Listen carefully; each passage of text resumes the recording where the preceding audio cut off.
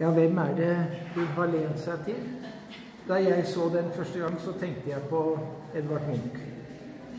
Det er en kvinne ved sjøen, har hun kalt det. Det er jo også typisk Munch-måte å, å, sette tittel på bildet sitt. Akryl, grafitt og akvarellbryant på papir. Hun har altså helt åpenbart forsøkt å karakterisere vedkommende og den følelsen vedkommende har, med så lite virkemidler som overhodet mulig. Hun har noen røde linjer som jeg ikke riktig skjønner, men som har et eller annet symbolsk i bildet som jeg ikke får meg.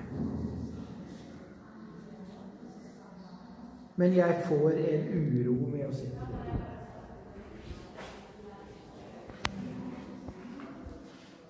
Ved siden av henger Karin Kien en akvarell. Akvarellen da løst med at man bearbeider akvarellen, og her er det jo da ikke figurativt. Den har eh, noen volumøse former som fungerer fint for meg. Og jeg har også glede av den dialogen mellom den fiolette